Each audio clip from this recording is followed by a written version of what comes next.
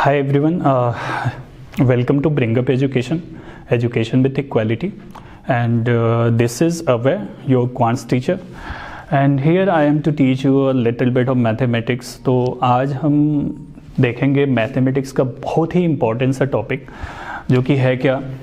Percentage तो percentage का basically definition uh, क्या है?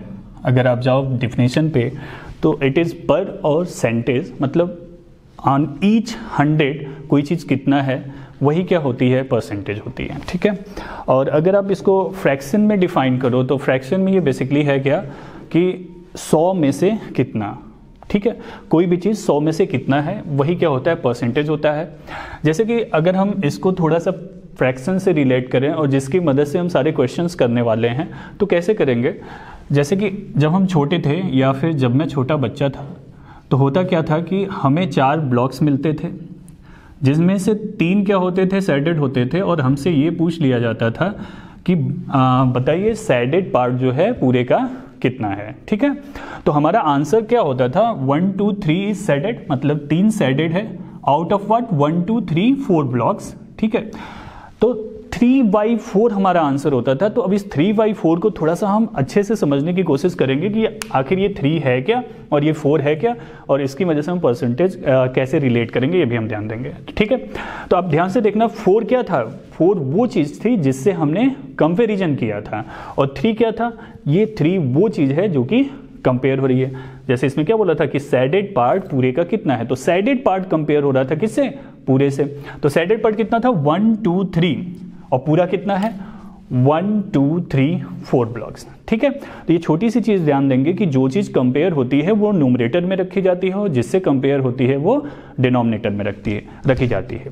ठीक है? तो आप ये याद करने के लिए आप ये लिख सकते हो कि जो एन अपॉन क्या? जिससे। To get a fraction to get a desired fraction आप कैसे करोगे? कि जो चीज़ कंपेयर हो रही हो, उसको आप नोमिनेटर में लिखो और जिससे कंपेयर हो रही हो, उसको आप क्या यहाँ लिखो? डिनोमिनेटर में लिखो। ठीक है? इसको आप इंग्लिश में भी कर सकते हो कि the thing that is going to be compared is our nominator और the thing with which we are comparing is our denominator आप ऐसा कर सकते हो। और अगर आपको ये चीज़ पता है तो this is going to help you a lot lot while solving your percentage basic question like जैसे कि अभी फ़िलहाल आपने ये समझा है कि आउट ऑफ़ फोर कितना है, ठीक है? तो आउट ऑफ़ हंड्रेड कितना होगा, ये अगर आपको पता करना हो तो कैसे? ठीक है? तो इसको थोड़ा सा हम रिलेट करते हैं यूनिटरी मेथड से, ठीक है? अगर हम ध्यान से देखें तो हम कह सकते हैं as three part is shaded three part is shaded out of four ये कह सकते हैं कि तीन पार्ट सेडेड है चार में से। So how many so how many will be shaded shaded out of one ठीक है? तो इसका आंसर ही क्या आता है? यही फ्रैक्शन आता है। जब आप आउट ऑफ़ वन देखते हो जैसे ये क्या बोला था क्वेश्चन में स्टार्टिंग में कि सैडेड पार्ट पूरे का कितना है? तो पूरा एज ए वन ट्रीट होता है पूरा एज ए होल ट्रीट होता है ठीक है? तो how many will be shaded out of one इसका जो आंसर होगा वो कितना होगा? थ्री बाई फोर आप ये समझ रहे होगे कोई चार में से तीन था तो एक में से कितना होगा? थ्री बाई फोर होगा ठीक है? सो so, अब आते हैं परसेंटेज का। परसेंटेज होता क्या है? कि 100 में से कितना है? आउट ऑफ़ 100 कितना है? तो how many will be shaded out of 100 इसके लिए आपका आंसर क्या हो जाएगा? थ्री बाई फोर और इंटू हंड्रेड अब यहाँ पे थोड़ा सा दिमाग लगाते हैं, ये कहना क्या चाह रहे हैं और इससे हम रिलेट करना क्या चाह रहे हैं। ठीक है? जैसे कि आउट ऑफ़ हंड्रेड लिखा है कि how many will be shaded out of hundred तो आपने क्या किया?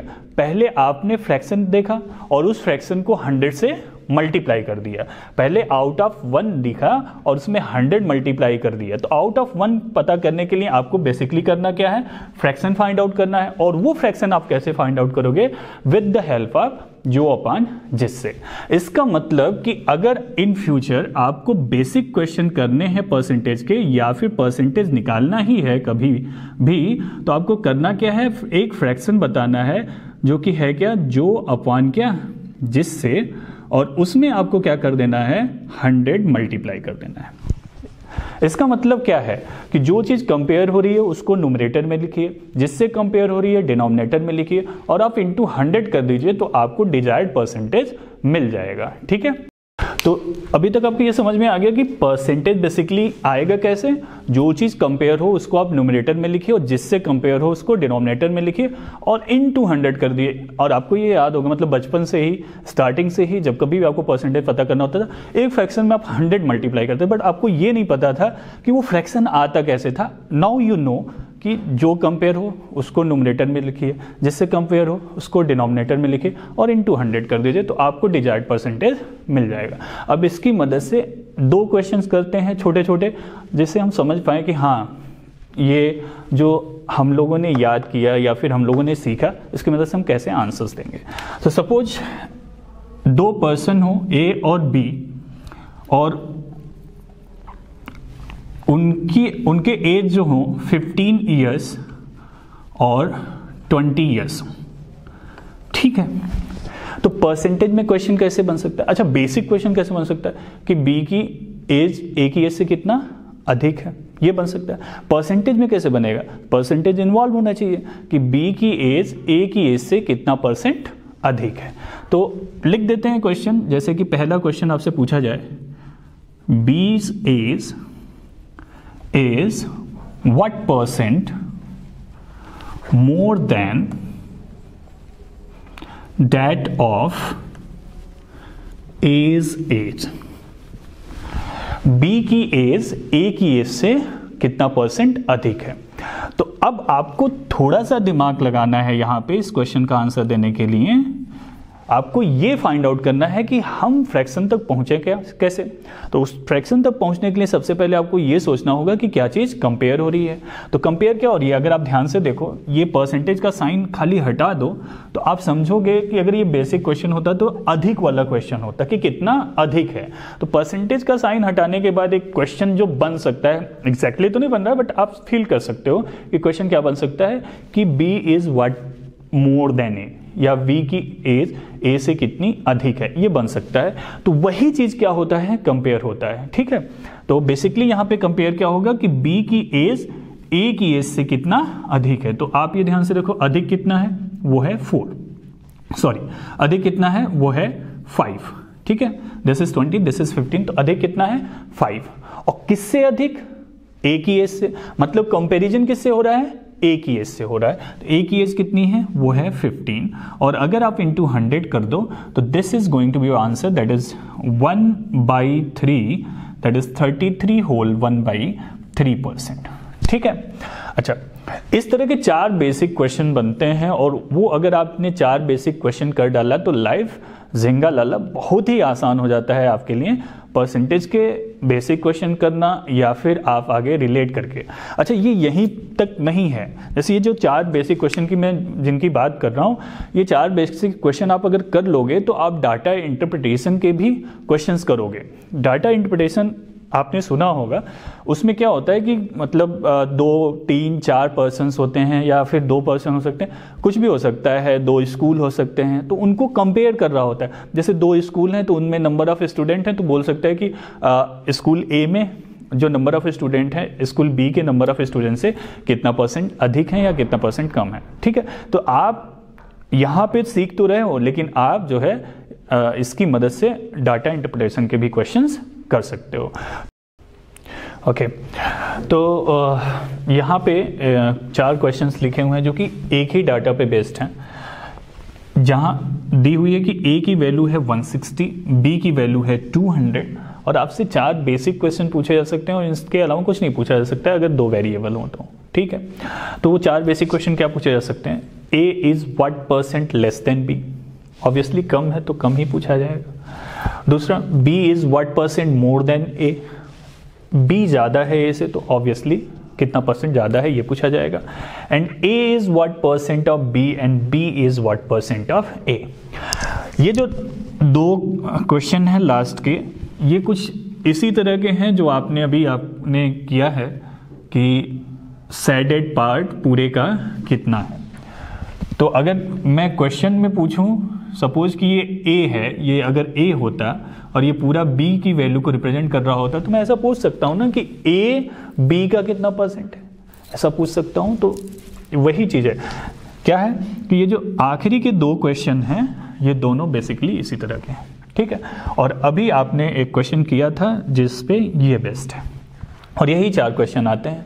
आइए सीखते हैं ये कैसे होंगे और क्या हमें सीखना है और कैसे ऑन द स्पॉट हम देखें और कहें अच्छा तुम हो अच्छा रुको अच्छा आंसर तो देखो, लिखा है A is what percent less than B तो अगर ये परसेंटेज ना होता तो क्वेश्चन क्या बनता?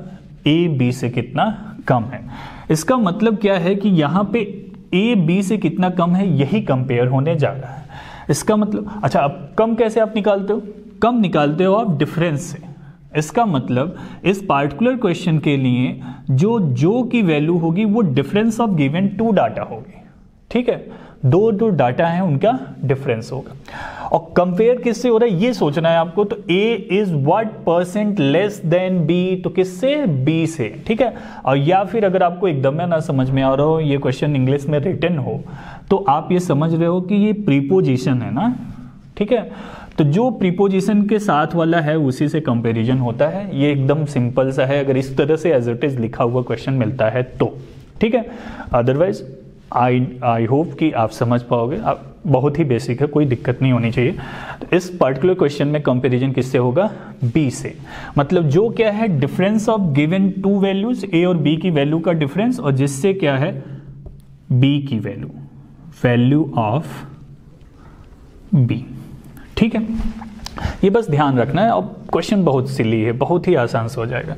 यहाँ पे देखो अगेन ये क्या है? B is what percent more than A तो अगर परसेंटेज ना होता तो बेसिकली क्वेश्चन क्या होता? कि कितना अधिक है इसका मतलब ये, इस क्वेश्चन में भी जो क्या है? Basically difference of given data और यहाँ पे कंपेरिजन किससे है? ए से है। दैट मीन्स कि जिससे क्या होगा? वैल्यू ऑफ़ ए ठीक है? अब इसकी बात करें तो इसको मैंने रिलेट किया है इससे। ठीक है? तो इससे हम रिलेट करके आंसर देने की कोशिश करेंगे। तो अब ध्यान से देखना this is our shaded part and this is whole shaded part is what percent of whole इस तरह से अगर आप करते हो, इसका मतलब ये ही हमारा क्या है? जो है, और यही हमारा क्या है? जिससे। जैसे उस क्वेश्चन में सैडेड पार्ट को आप नोमिनेटर में रखते थे, ठीक है? और जिससे कंपेयर करते थे, वो आप कहाँ रखते थे? डिनोमिनेटर में रखते थे। तो दैट मीन्स कि स्टार्टिंग वाला is our nominator and last वाला इज़ आवर डिनोमिनेटर सेम इसके साथ भी होगा. B is what percent of A यानी कि यही चीज़ कंपेयर हो रही है और किससे कंपेयर हो रही है? इससे. ठीक है? Okay okay? अच्छा यहाँ भी आप ध्यान से देख लो कि प्रीपोजिशन के साथ वाला ही क्या है? जिससे वाला आंसर है. ठीक है? तो अगर ये चीज़ आप समझ गए हो तो ये चार क्वेश्चन बहुत ही इजिली आप आंसर दे सकते हो. देखो तो पहले का आंसर आप क्या लिखोगे? कि sir A is what percent less है या B is what percent more है? तो जब कभी भी क्वेश्चन वाट परसेंट मोर या वाट परसेंट लेस का हो, कितना परसेंट अधिक या कितना परसेंट कम का हो तो बेसिकली नुमरेटर क्या होगा? गिवन वैल्यूज़ का डिफरेंस होगा। ये चीज़ ध्यान रखना। मतलब जो चीज़ कंपेयर हो रही है क्या रही है? डिफरेंस ही कंपेयर हो रही है। तो डिफरेंस कितना है? वो है चालीस। ठीक है? क्वेश्चन में क्या है? What percent less than B तो थोड़ा सा और दिमाग लगाओ। अगर क्वेश्चन लेस का है तो किससे लेस होगा? ज़्यादा वाली वैल्यू से लेस होगा। तो अगर और थोड़ा सा दिमाग लगाते हो तो इसका मतलब आप सीधे लिख दोगे कि नीचे ज़्यादा वाली वैल्यू होनी चाहिए। अगर थोड़ा सा दिमाग लगाओ कि भाई, अगर क्वेश्चन लेस का है तो कंपैरिजन किससे किस कोई चीज़ कम किससे होती है? अधिक वाले से ही होती है ना? तो कंपैरिजन किससे होगा? अधिक वाले से होगा। यानी कि डिनोमिनेटर में क्या होगा? 200 होगा। अगर आप ये सेंस लेके चल रहे हो, और या फिर आपने ये प्रिपोजिशन वाला सेंस लिया, जैसे आप चाहो। तो ये आपका फ्रैक्शन आ गया और into hundred you will solve it you will get it this is one this is five your answer will be twenty percent now come to second one nominator 40 ही होगा। क्यों 40 होगा? क्योंकि अगेन ये क्वेश्चन कितना परसेंट अधिक वाला है। ठीक है? तो नोमिनेटर 40 किससे कंपेयर होगा? ए की वैल्यू ए की वैल्यू कितनी है? 160 सॉल्व आउट करोगे इंटू हंड्रेड कर लोगे और सॉल्व आउट करोगे तो this will be what 25 percent now come to third question third question लिखा है A is what percent of B इसका सीधा मतलब ये है कि पूरा का पूरा ए कंपेयर हो रहा है किससे? बी से।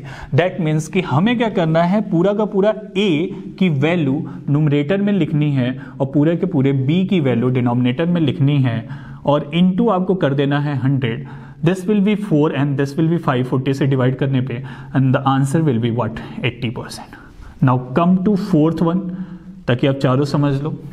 फोर्थ वन है क्या? B is what percent of A इसका मतलब पूरा का पूरा बी कंपेयर हो रहा है। किससे? पूरे के पूरे ए से। तो यानी कि नुमरेटर में फोर्थ वाले में नुमरेटर कितना हो जाएगा? B की वैल्यू क्योंकि b से कंपेयर हो रहा था, किसकी वैल्यू से? सॉरी कौन सी? वेट फॉर सेकेंड मैंने क्या बोला? बी कंपेयर हो रहा था किससे? ए की वैल्यू से। ये ध्यान देना कि B is what percent of A इसका मतलब बी कंपेयर होगा किससे? ए से। यानी 160 एंड इन टू हंड्रेड इसको आप सॉल्व आउट करोगे this will be five this is this will be four that is 125 percent hope कि आपको ये समझ में आ गया है। ठीक है? और अगर ये समझ में आ गया है तो हम इसको with the help of ratio कैसे करें? क्योंकि ultimately most of the question आपको रेशियो की मदद से ही करना है। और एक चीज़ आप ध्यान दीजिए कि आप रेशियो में रेशियो पढ़ोगे, मिक्सर एलिगेशन में रेशियो पढ़ोगे परसेंटेज में रेशियो पढ़ोगे प्रॉफिट एंड लॉस में रेशियो पढ़ोगे। मतलब you are going to deal all the chapter with the help of only ratio इसका मतलब क्या है कि रेशियो पढ़ डाला तो लाइव झिंगा लाला हाँ? तो चलिए अभी यही question with the help of ratio हम कैसे करें? ध्यान से देखते हैं। अगर मैं इनका रेशियो ले लूँ जो वैल्यूज़ थी, इनका रेशियो ले लूँ। और यहाँ से क्या सीखने को मिलेगा, ये भी मैं आपको बता दूँ। तो अगर इनका रेशियो ले लूँ तो ये क्या होगा? फोर रेशियो फाइव फोर्टी से डिवाइड करोगे this will be four and this will be five अब इस क्वेश्चन का आंसर दो। A is what percent less than B हमें आंसर यहाँ से नहीं आंसर यहाँ से देना है। ठीक है? A is what percent less than B मतलब कंपेरिजन क्या हो रहा है? कितना कम या कितना ज़्यादा? तो यहाँ पे जब अपने रेशियो पता है तो बेसिकली डिफरेंस ऑफ़ रेशियो क्या है? इस पे आपको फोकस करना है। इन दोनों क्वेश्चन के लिए क्वेश्चन नंबर वन और क्वेश्चन नंबर टू दोनों के लिए जो आपका न्यूमरेटर होगा basically difference of given ratios होगा। तो डिफरेंस ऑफ़ गिवन रेशियो क्या है? वन रेशियो कंपेरिजन किससे हो रहा है? लेस देन बी है तो कंपेरिजन बी से है बी का रेशियो कितना है? फाइव और into hundred your answer will be twenty percent और यही आंसर पहले भी आया था। अगेन दूसरे क्वेश्चन को करें तो कितना अधिक एक रेशियो किससे? ए से। ए की वैल्यू कितनी है? चार रेशियो और into hundred this will be what twenty five percent अब ध्यान से देखो A is what percent of B तो मतलब पूरा का पूरा ए कंपेयर होना किससे? बी से। ए की वैल्यू चार रेशियो बी की वैल्यू पाँच रेशियो और into hundred answer will be eighty percent ठीक है? Now come to the last one b is what percent of a? तो पूरा का पूरा b कंपेयर होगा a से.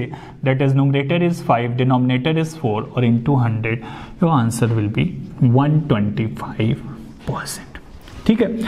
अब अगर आप ये चीज़ समझ चुके हो तो इसकी मदद से आप बहुत सारे क्वेश्चन कर सकते हो। अब एक छोटी सी बात ये है कि यहाँ पे आपने सीखा क्या कि पहले वैल्यू दी हुई थी, उन वैल्यू को हमने रेशियो में कन्वर्ट किया और रेशियो में कन्वर्ट कर दिया तो भी आंसर आया। इसका क्या मतलब है कि वैल्यू दी हो, चाहे ना दी हो, हमें रेशियो पता हो तो ये चार बेसिक कंपैरिजन के क्वेश्चंस कर सकते हैं। That means to answer four basic question of percentage जो कि यहाँ पे है what is required is only ratio मतलब रेशियो पता हो, सब पता चल जाएगा। ठीक है? ओके अब इसी से रिलेटेड हम कुछ क्वेश्चन करेंगे। ठीक है? तो देखिए एक बेसिक क्वेश्चन लिखा हुआ है कि A's income is 25 percent more than that of B's income होना चाहिए। अगर इंग्लिश की बात करें तो। That of B's income than B's income is what percent less than that of आप करेक्ट कर लीजिएगा एज इनकम ओके तो इस क्वेश्चन को आप कैसे अप्रोच करोगे, क्या अप्रोच होना चाहिए, वो सारी चीज़ें हम यहाँ पे डिस्कस करते हैं, ठीक है? अगर हम बात करें एकदम बेसिक की तो आप कैसे करते थे? जब कभी भी परसेंटेज होता था तो आप चीज़ों को सौ लेट करते थे, ठीक है? आज ये चीज़ ध्यान में रखना कि पता उसका पता करते हैं, जिसके पता के पता चलने से सबका पता आसानी से पता चल जाए।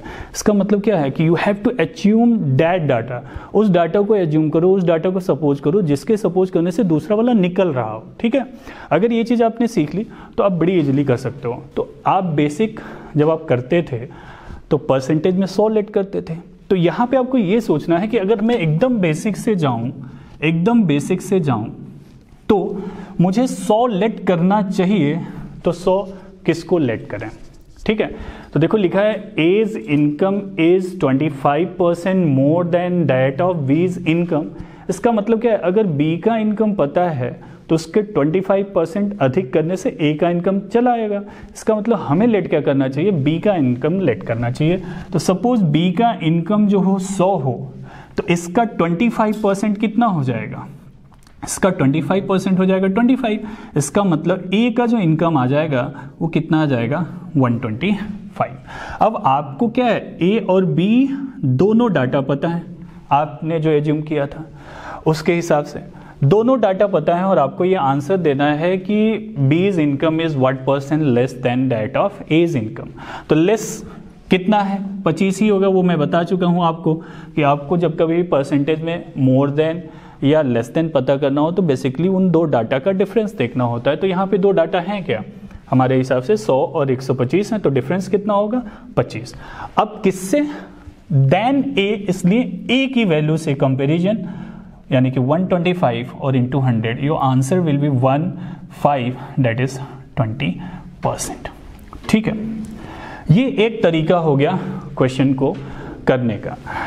लेकिन अगर आप अभी ये चीज़ सीख लो कि how to convert sorry how to convert percentage in fraction and then this fraction in ratio and then आपको पता ही है कि रेशियो की मदद से हम बड़ी आसानी से बेसिक क्वेश्चन कर रहे हैं। इसका मतलब हमें ये सीखना है कि कैसे हम परसेंटेज को फ्रैक्शन में कन्वर्ट करें और उस फ्रैक्शन को कैसे हम रेशियो में कन्वर्ट करें और उस रेशियो से कैसे हम आंसर दें, ये हमें सीखना है।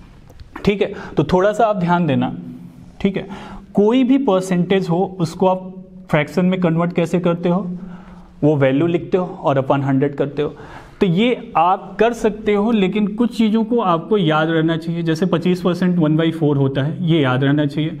और अभी हम आगे की क्लासेस में डिस्कस करेंगे कुछ बेसिक फ्रैक्शन जिनके परसेंटेज में वैल्यूज़ कितनी होती हैं और कैसे उनको रिलेट करें, कैसे उन्हें याद रखें, ये हम डिस्कस करेंगे, ठीक है? तो देखो, यहाँ पे जो 25 परसेंट है, इस 25 परसेंट की वैल्यू अगर हम फ्रैक्शन में देखें तो वन बाई फोर ठीक है?